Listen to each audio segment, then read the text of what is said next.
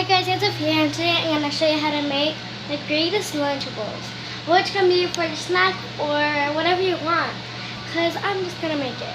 The first step is just to get um, crackers. So just get some crackers. And then you could get some cheese. I personally like this awesome cheese. So now all you're going to do is have to cut it. And yeah.